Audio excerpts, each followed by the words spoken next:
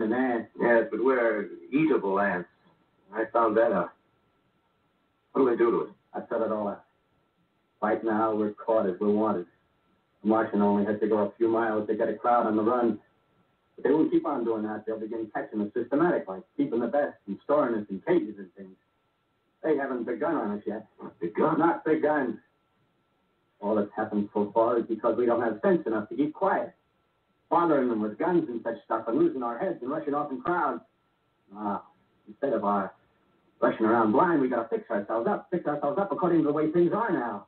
Cities, nations, civilization, progress. Yes, but if that's so, what is there to live for? Well, there won't be any more concerts. There's no restaurant. If it's amusement you're after, I guess the game's up. What is there left? Life, that's what. I want to live. Yeah, and so do you. We're not going to be exterminated. And I don't mean to be caught either. Tamed and fattened and bred like an ox. What are you going to do? I'm going on. Right under their feet. I got a plan. We men as men, we're finished. We don't know enough. We got to learn plenty before we get a chance. We got to live and keep free while we learn, see? I've thought it all out, see? Let's see with the rest. Well, it isn't all of us that are made for wild beasts. That's what it got to That's what it got to be. That's why I watched. Watched you. All those little office workers that used to live in these houses. They'd be no good. They haven't any stuff in them.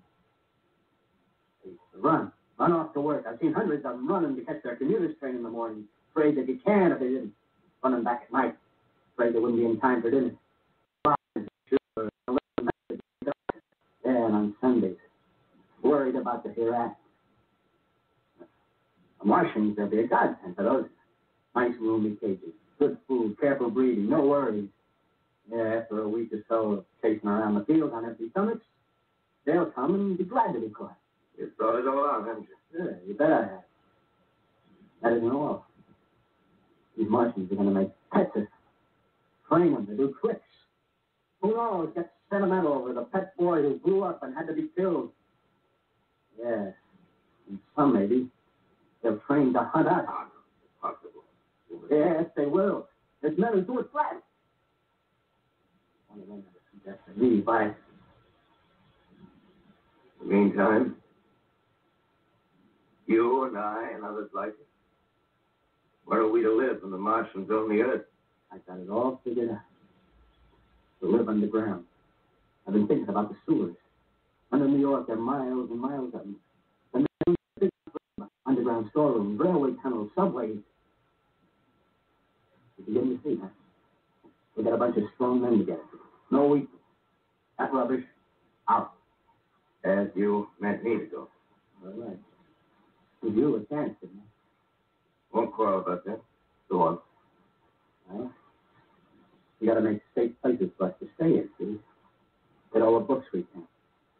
Science books. That's where men like you come in, see?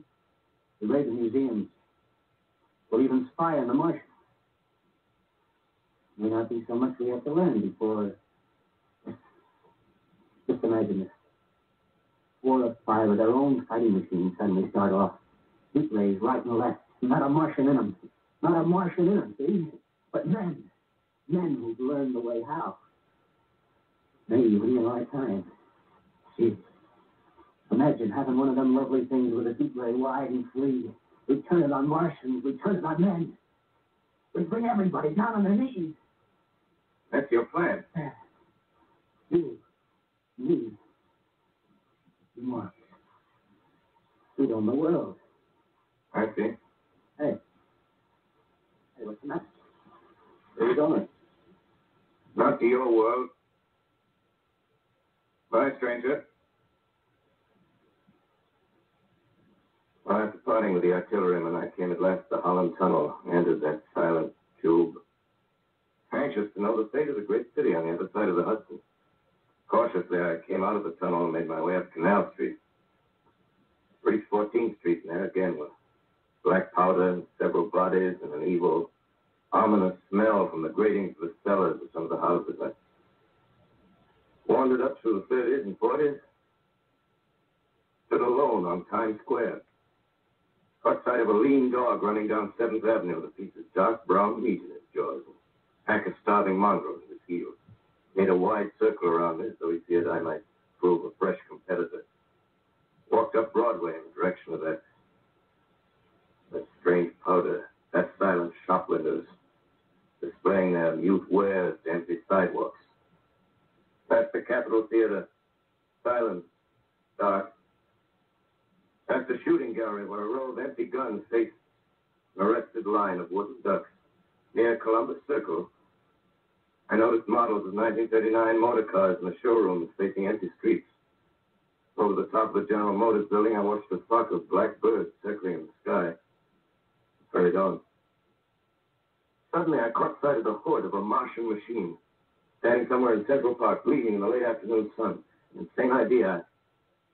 I, I rushed recklessly across Columbus Circle and into the park. I, I climbed a small hill above the pond at 60th Street, and from there I could see standing in a silent row along the mall 19 of those great metal titans, their cowls empty, their steel arms hanging listlessly by their sides.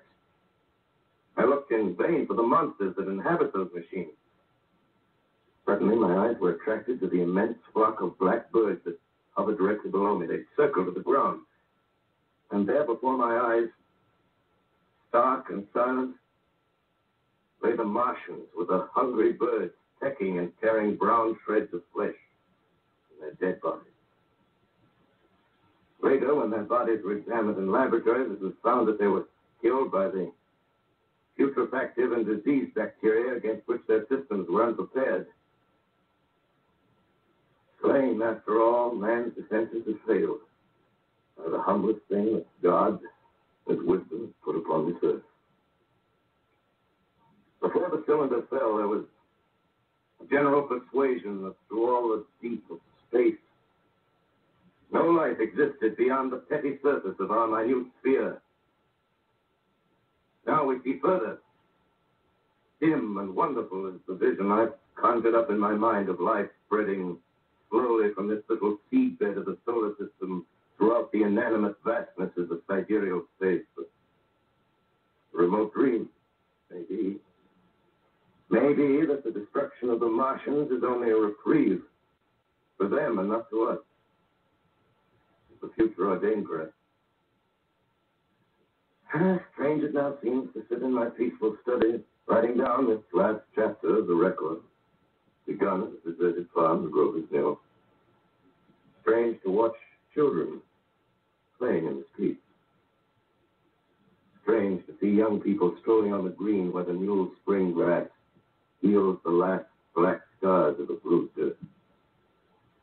Strange to watch the sightseers enter the museum where the dissembled parts of a Martian machine are kept on public view. Strange when I first saw it. Bright and clean cut, hard and silent under the dawn of that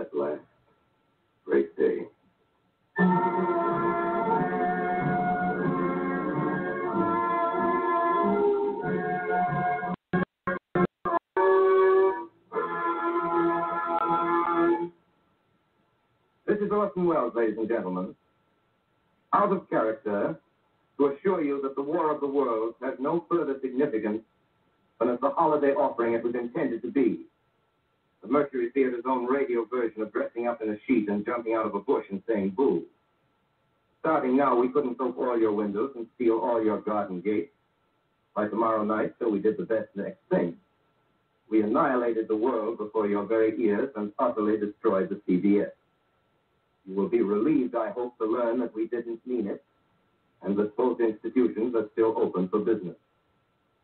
So goodbye, everybody, and remember, please, for the next day or so, the terrible lesson you learned tonight. That grinning, glowing, globular invader of your living room is an inhabitant of the pumpkin patch, and if your doorbell rings and nobody's there, that was no Martian. It's Halloween.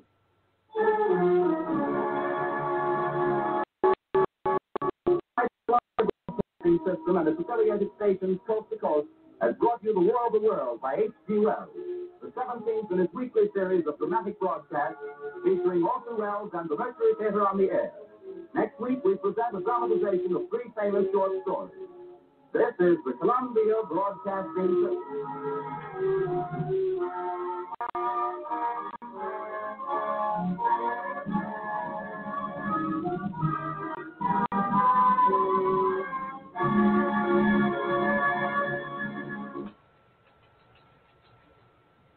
There you have it, folks. This is TJ Morris, ET Radio, and I am Theresa J. Thurmond Morris with our UFO Secret Space Talks for our UAP associates. And we share the UFO Association of our members that have worked diligently to correct anything that you may have heard on this Wells fantasy. 30th, 1938, for uh, presentation for the next day, which was October 31st. That's right, that was a holiday special, and that was him talking as a member of a group in New York, and it was broadcast on CBS and Columbia Broadcast System. So, with the way that we are now in the world, we're on a lockdown on April 5th, 2020. I thought it'd be a good time to present that. Uh, normally, my regular time is 7 p.m., and people will be looking for me to show up today, at least weekly, on our radio shows on Sunday because I have Theresa J. Morris Ministries, which access American Communications Online, which has a department for all those veterans, Allied Command Organization, and all the veterans we started uh, as a way once we retired to keep in touch through the American Veterans Association, and I am uh, one, and we have various groups that we meet around the world, and we were going to do this and share how we could get together annually and meet each other, which we did in Ohio County when we started in 2000. Uh, we started the bluegrass events, and uh, we had uh, at the beginning uh, in Ohio County where Bill Monroe Foundation began, and I was a plank owner there. We had a lot of great music from around the world, and uh, a lot of people show up every year. And we had built our own stage, and we had our equipment to record, and we had Dr. Uh, Mercer come up and uh, work with the Ohio County Association for the county and the state. And uh, as far as I know, Doc Mercer is still around. I I don't know. It's 2020, and during this COVID 19 uh, virus outbreak uh, around the world, I don't know where a lot of people are on the planet. And um, so, as God would have it, I like history and how we put it together and how we put folklore together in Ace Folk Life and how we're going to move forward in our entertainment and communications and how we can uh, all do our part. And I have this company, American Broadcast. It's American Communications on as a broadcast. I have ACIR Radio for American Culture International Relations, our Allied Command Internet Radio, both as we build this, uh, which this 2020 uh, hindsight is better than foresight has sort of stuck me in arrears on paying bills, but uh, I don't know how we're going to get all this done so you can hear me weekly, but hopefully we'll have somebody sponsor us weekly uh, starting in May because April, I don't even know, maybe something out of my government check because I'm an American and I'm retired from DOD, DON, uh, driving a commercial truck and delivering for U.S. Treasury and Microsoft and uh, Bill Gates five years ago uh, did a story on TED's talks, TED Talks, and uh, it was very brief, but he did tell us what was going in the future, being a major prophet. However you want to think about it, I'm here alone. I've only got enough food for one maybe to last me a month if I don't count milk and eggs because I couldn't even get uh, any eggs here in